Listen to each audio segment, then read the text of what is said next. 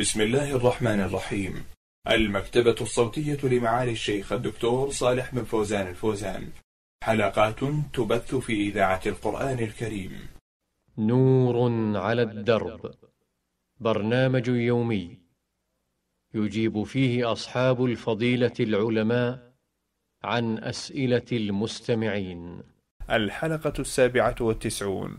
بسم الله الرحمن الرحيم. الحمد لله رب العالمين وصلى الله وسلم على نبينا محمد وعلى آله وصحبه أجمعين. إخوتنا المستمعين الكرام السلام عليكم ورحمة الله وبركاته. وحياكم الله إلى حلقة جديدة في برنامجكم اليومي نور على الدرب. في هذه الليلة نعرض أسئلتكم واستفساراتكم على صاحب الفضيلة الشيخ صالح بن فوزان بن عبد الله الفوزان عضو هيئة كبار العلماء وعضو اللجنة الدائمة للإفتاء. وفي مطلع هذه الحلقة نرحب بفضيلة الشيخ صالح. حياكم الله يا شيخ. حياكم الله وبارك أول أسئلة هذه الحلقة رسالة من المستمعة تقول أختكم في الله نون عين الجهني من المدينة المنورة لها عدد من الأسئلة تقول في أولها هل هناك دعاء خاص بليلة القدر؟ وإذا كان لها دعاء خاص فما هو؟ بسم الله الرحمن الرحيم. الحمد لله رب العالمين. صلى الله وسلم على نبينا محمد وعلى آله وصحبه أجمعين. وبعد فإن ليلة القدر ليلة مباركة ليلة عظيمة وهي خير من ألف شهر. فيستحب للمسلم الاجتهاد فيها بالعبادة من الصلاة والدعاء وذكر الله وتلاوة القرآن. قوله صلى الله عليه وسلم من قام ليلة القدر إيمانا واحتسابا غفر له ما تقدم من ذنبه. فالدعاء بالخصوص في هذه الليلة له مزية فيكثر الإنسان من الدعاء. وقد سألت عائشة رضي الله عنها رسول الله صلى الله عليه وسلم فقالت إن, إن وافقت ليلة القدر ماذا أقول؟ فقال قولي اللهم إنك عفو تحب العفو فاعف عني. فيكثر الإنسان من هذا الدعاء ويزيد عليه ما, ما شاء الله. نعم. في صلاته وفي دعائه خارج الصلاة في تلك الليلة يجتهد في الدعاء. نعم. أحسن الله إليكم. تقول في سؤالها الآخر عندي معلمة أحببتها في الله وأهديت لها هدية فهل يجوز ذلك أم لا؟ لا يجوز للمعلمة أن تقبل الهدايا من الطالبات. وكذلك لا يجوز للمعلمين أن يقبلوا الهدايا من الطلبة. لما في ذلك من الاتهام لهم بالحيف مع هؤلاء الطلاب الذين يهدون إليهم. لأن الأستاذ يحكم على الطالب وعلى جوابه وعلى فربما أن هذه الهدية تؤثر عليه عطفا أو ميولا. وكذلك الناس يتهمونه. وكذلك المهدي يكون له عليه دالة ويكون يشعر في نفسه أن أن المدرس سيجود معه وإلى غير ذلك. فيتجنب المدرس أو المدرسة قبول الهدايا من الطلاب. نعم. الله.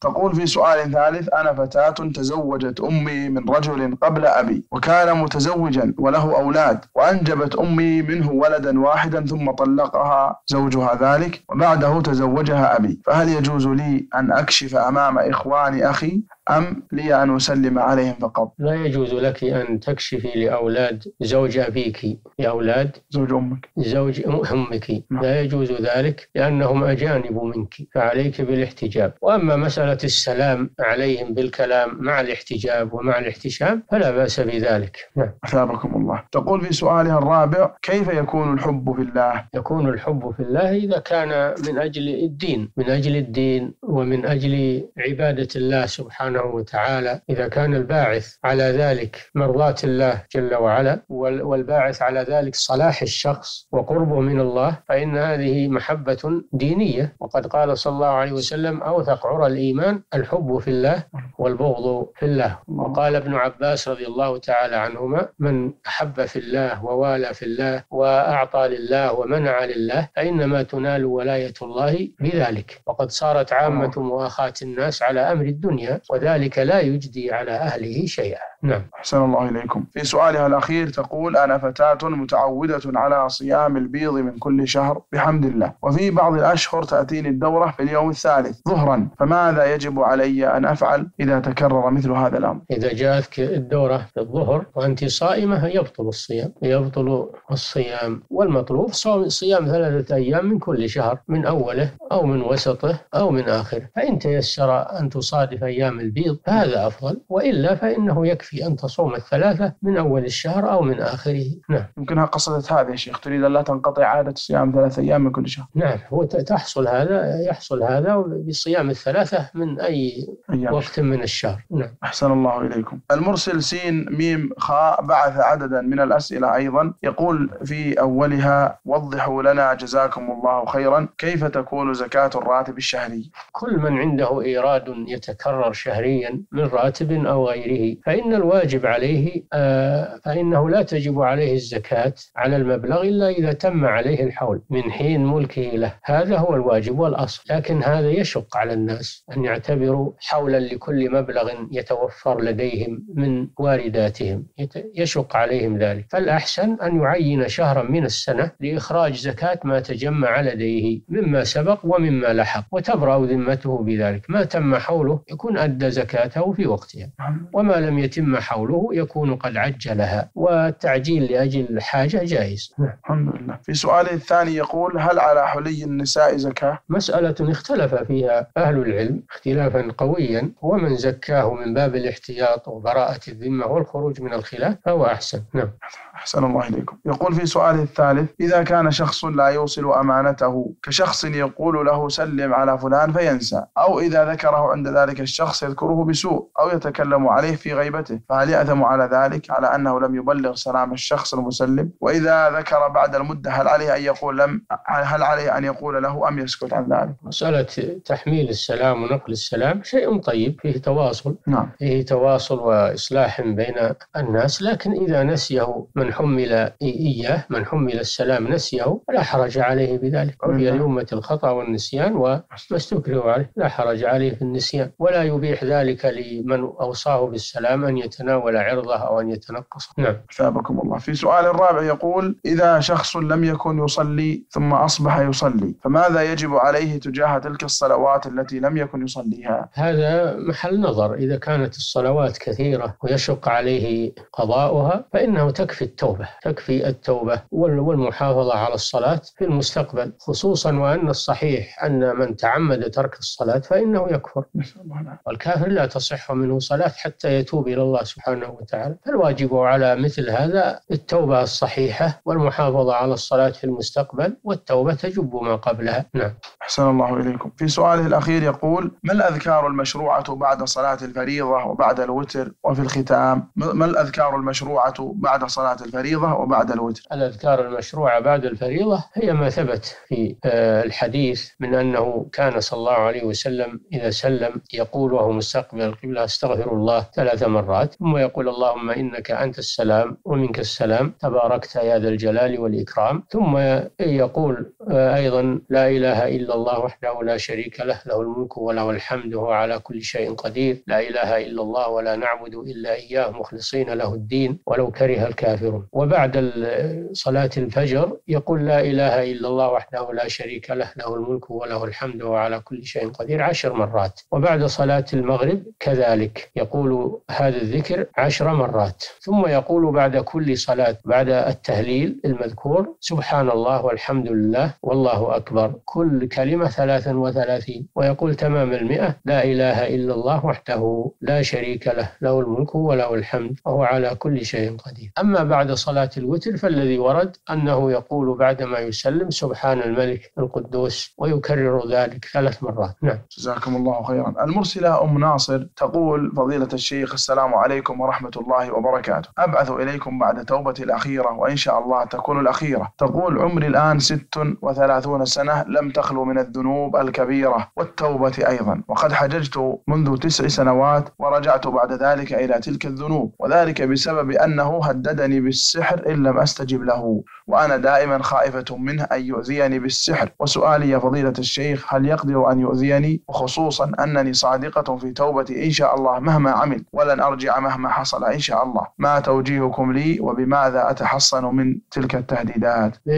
يحصل التحصن بذكر الله عز وجل واللجوء إلى الله والاستعاذة من شر من شر خلقه. وقراءة آية الكرسي بعد كل فريضة وقراءة السور الثلاث الإخلاص والمعوذتين فإن هذا مما يدفع الله به. ولا شك أن المحافظة على الصلوات أيضا مما يحصن المسلم خصوصا صلاة الفجر وصلاة العصر. مما يحصن الله به المسلم من كل شر. كذلك الإكثار من ذكر الله فإنه حصن يلجأ إليه المسلم من شر شياطين الإنس والجن. الله هذا هو الحصن المنيع الذي إذا حافظ عليه المسلم مع التوكل على الله والاعتماد على الله. ثانيا إذا لا إذا لم يندفع أذى هذا الشرير فعليك باللجوء إلى السلطة إلى ولي أمرك وإلى السلطة للأخذ على يدي. نعم. تقول في سؤالها الآخر ماذا أفعل كي أكفر عن ذنوبي خصوصا أنها كانت كبيرة وعظيمة في حق خالقي سبحانه وتعالى؟ هذا فيه تفصيل. إذا كانت الذنوب بينك وبين الله سبحانه وتعالى فإن الذي تكفرها التوبة.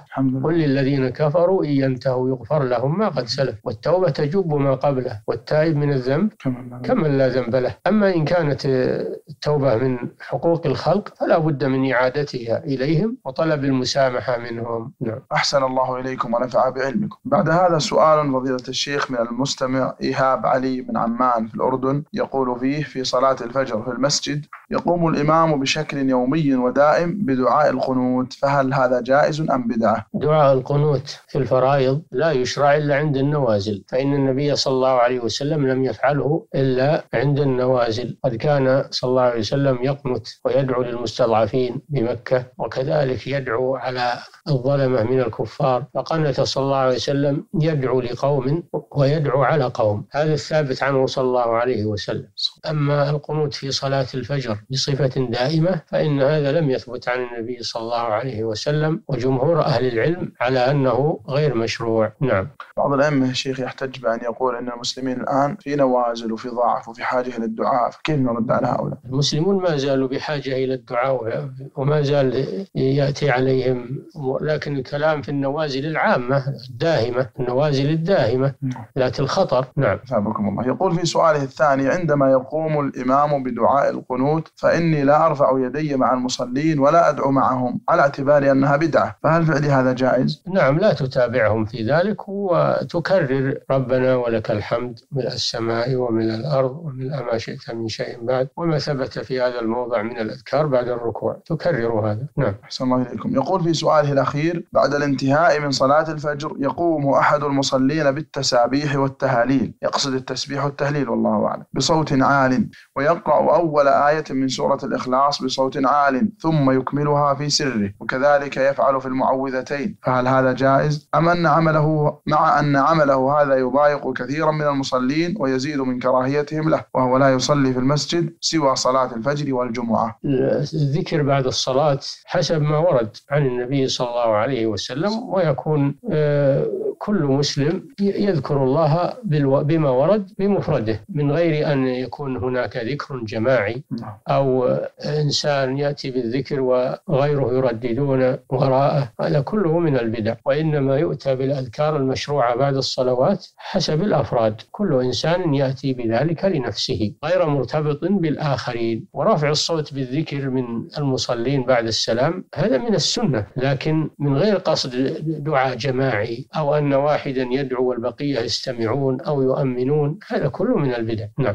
الله. المستمع ميم ألف ميم يقول أولا سلام الله عليكم ورحمته وبركاته. إني أحبكم في الله. سؤالي إذا كان الشخص احتلم وأصبح جنبا والبرد شديد فلم يقدر أن يغتسل من شدة البرد. هل يجوز له أن يتيمم لصلاة الصبح بالرغم من وجود الماء ولكن لشدة البرد؟ وهل يجوز له أن يؤخر الصبح حتى يغتسل؟ إذا كان في بر ولا عنده ما يسخن به الماء ويخاف على نفسه من شدة البرد فلا شيء فلا بأس أن يتيمم ويصلي. كما فعل عمرو بن العاص رضي الله تعالى عنه. وذكر ذلك للنبي صلى الله عليه وسلم فأقره عليه قوله تعالى ولا تقتلوا أنفسكم إن الله كان بكم رحيما. أما إذا كان عنده ما يسخن به الماء من حطب أو غير ذلك من مواد التسخين فلا يجوز له أن يتيمم بل يسخن الماء ويغتسل منه ولا يجوز له أن يتيمم لأنه واجد للماء قادر على استعماله بواسطة التسخين. وأما أنه يؤخر الصلاة إلى بعد طلوع الشمس الشمس من أجل البرد فهذا لا يجوز بل عليه أن يصلي في الوقت. إن قدر على الطهارة بالماء وجب عليه ذلك وإلا فإنه يتيمم ويصلي قبل خروج الوقت. نعم. أثابكم الله. المستمع محمود شرف الدين مصطفى تشادي مقيم في حفر الباطن يقول إذا قتل البرق بهيمة كالخروف أو الجمل أو البقرة هل أكلها حلال أو حرام؟ إذا ماتت بالصعق فإنها حرام لأنها غير مذكاة. أما إن أدركت وفيها حياة مستقرة وذكيت ودفق منها الدم الذي يدفق عادة من المذبوحة جاز أكلها. لقوله تعالى حرمت عليكم الميتة والدم ولحم الخنزير وما أهل لغير الله به والمنخنقة والموقوذة والمتردية والنطيحة وما أكل السبع إلا ما ذكيتم. إلا ما ذكيتم. فما أدرك بعد الإصابة وفيه حياة مستقرة فإنه يذكى ويؤكل والحمد لله. نعم. أحسن الله إليكم. في سؤال الآخر يقول إذا كان ذهب المرأة مقداره مقداره نصف كيلو جرام وتستخدمه بالمناسبات كالعرس والعزيمة هل فيه زكاة أم لا؟ كما سبقت الإجابة عن ذلك أن الحلي حلي النساء المعد للاستعمال أو العارية جمهور أهل العلم على أنه لا زكاة فيه لأنه معد للاستهلاك والاستعمال ولم يعد للنماء والتجارة وذهب بعض العلماء إلى إيجاب الزكاة فيه ولو كان كذلك فالمسألة خلافية والخلاف فيها قوي فمن زكاه من باب الاحتياط وبراءة الذمة وخروجا من الخلاف فلا شك أن هذا أحسن وأتم. نعم. أثابكم الله. مستمع رمز إلى اسمه بالحروف ميم جيم يقول أرفع إلى فضيلتكم راجيا توضيح وجهة النظر الشرع الكريم في هذا الأمر وهو أنني رجل تزوجت زوجة بقيت معي قرابة عشر سنوات ثم ذهبت إلى أهلها دون سبب وقابلني أبوها وأخوها بالشدة والسب وأخذوا حقوقي حتى أصبحت فقيرا واضطررت إلى طلاقها ولم يعيدوا من حقي شيئا وقد أخذوا مني مبلغا كبيرا فأرجو إيضاح الحكم في ذلك لمثل هؤلاء ولمن يعمل عملهم ويأخذ حقوق الزوج عندما يناسبه ويقابله بالسب دائما والجحود. والله يرعاكم. لا شك أن الظلم محرم ولا يجوز حتى في حق الكافر. قال سبحانه ولا يجرمنكم شنآن قوم على ألا تعدلوا اعدلوا وأقرب للتقوى. هذا من حيث العموم. أما من حيث هذه القضية فهذه يرجع فيها إلى القاضي يرجع فيها إلى المحكمة الشرعية لأن هذا نزاع بين طرفين ودعوى من السائل فيحتاج إلى نظر القاضي. نعم. ثابكم الله وأحسن إليكم. مستمع رمز اسمي بالحروف ألف كاف يقول أنا أسكن في ضواحي مدينة الرياض ومعي رجل واحد فقط. هل نصلي صلاة الجمعة ركعتين أو أربع ركعات؟ وهل يكون لنا خطبة بيننا ونحن اثنين أم لا؟ إذا كان حولكم مسجد تقام فيه صلاة الجمعة وتدركون الصلاة فيه تسمعون الأذان فإنه يجب عليكم أن تحضروا وتصلوا مع المسلمين في هذا المسجد. لقوله تعالى يا أيها الذين آمنوا إذا نودي للصلاة من يوم الجمعة فاسعوا إلى ذكر الله وذروا البيع.